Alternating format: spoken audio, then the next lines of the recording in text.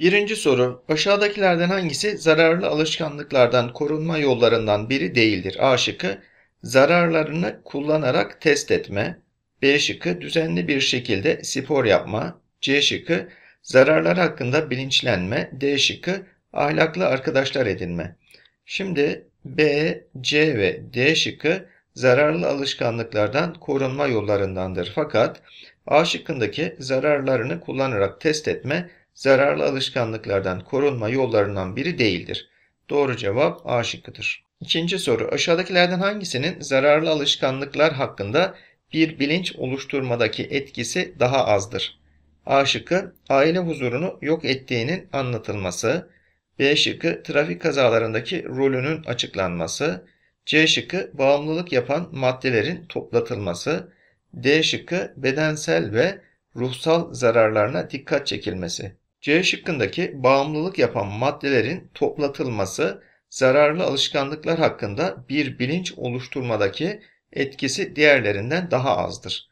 Dolayısıyla doğru cevap C şıkkıdır. Üçüncü soru. Zararlı alışkanlıkları olan insanlar iradeleri ile bu durumlardan kurtulamıyorsa uzmanlara başvurmalıdır. Tedavi sürecinde ve sonrasında bütün aile fertleri bağımlıya ilgi, sevgi ve şefkat göstermelidir.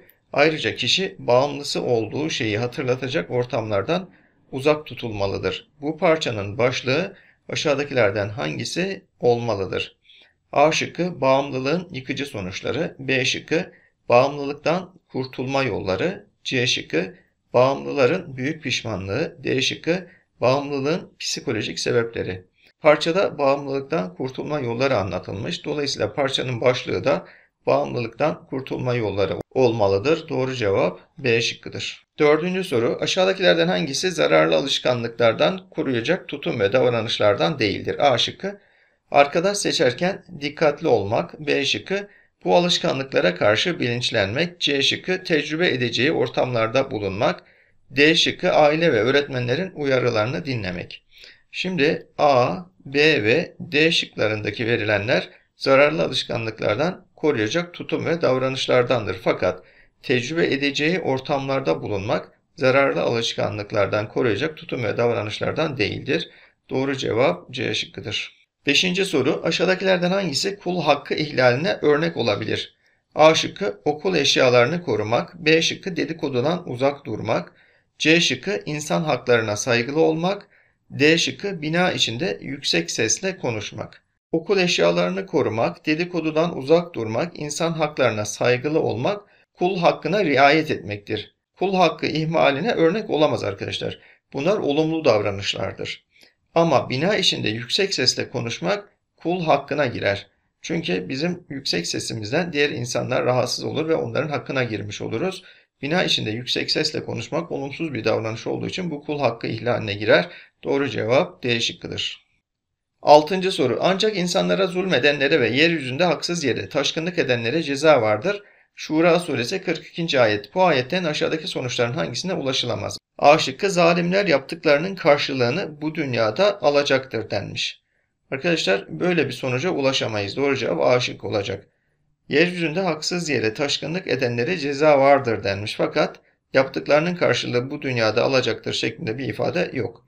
B şıkkı Aşırıya gitmek haksızlığa yol açmaktadır. C şıkkı insan yaptığı davranışlardan sorumludur. D şıkkı Allah haksızlık edenleri uyarmaktadır. Evet bu üç sonuca da ulaşılabilir fakat A şıkkına ulaşılamaz. Doğru cevap A şıkkıdır. Yedinci soru. İnsanları hakkı olan şeylerden yoksun bırakmayın. Bozgunculuk yaparak yeryüzünde karışıklık çıkarmayın. Şu Ara suresi 183. ayet. Ey kavmim ölçüp tartarken adaleti gözetin. İnsanların mallarının değerini düşürmeyin. Yeryüzünde kargaşa çıkararak başkalarına zarar vermeyin. Hud suresi 85. ayet. Bu ayetlere göre aşağıdaki davranışların hangisi yanlıştır? A şıkkı haksızlık ve zulümden uzak durmak.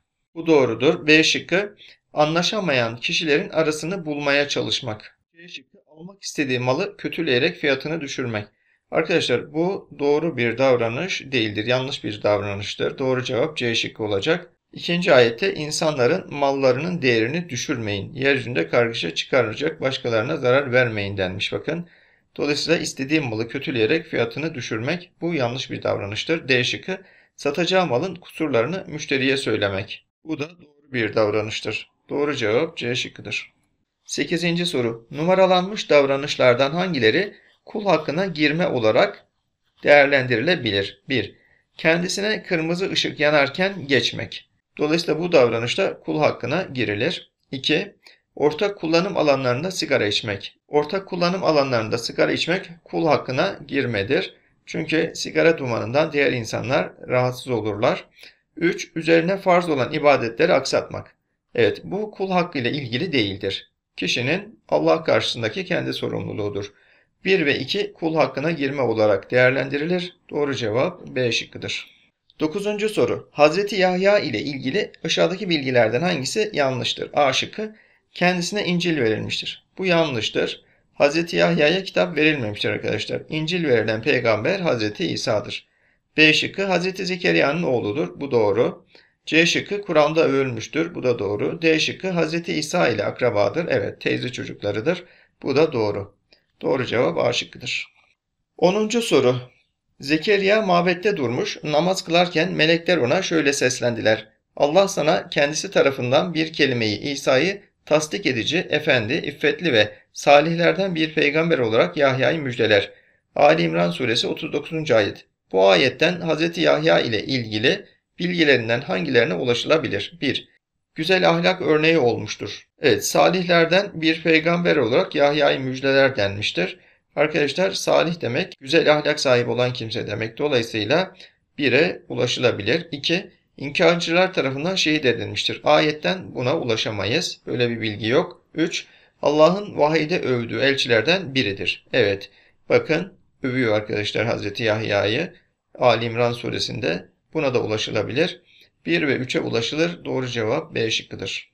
11. soru. Aşağıdakilerden hangisi Tebbet suresi ile ilgili değildir? A şıkkı adını surenin başladığı kelimeden almıştır. Evet bu doğrudur.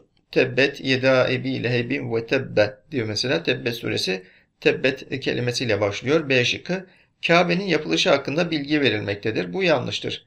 Tebbet suresinde Peygamberimizin amcası Ebu Leheb lanetleniyor arkadaşlar. Onunla ilgili bilgi var. Kabe'nin yapılışı ile ilgili bilgi yok. C şıkkı Mekke'de indirilmiştir ve 5 ayettir. Bu doğrudur. D şıkkı Ebu Leheb hakkında indirilmiştir. Bu da doğrudur. Doğru cevap B şıkkıdır. 12. soru. Aşağıdaki ifadelerden hangisi Tebbet suresinde yer alır? A şıkkı Fecealehum keasfim me'kul. Bu ifade Fil suresinde geçmektedir. B şıkkı Elem yec'al keydehum fi tadlil. Bu da Fil suresinde geçmektedir. C şıkkı termihim bi hicaretin min sicil. Bu da Fil suresinde geçmektedir. D şıkkı ma a'ni anhu maluhu ve ma keseb. Evet bu Tebbet suresinde yer alan bir ifadedir. Doğru cevap D şıkkıdır.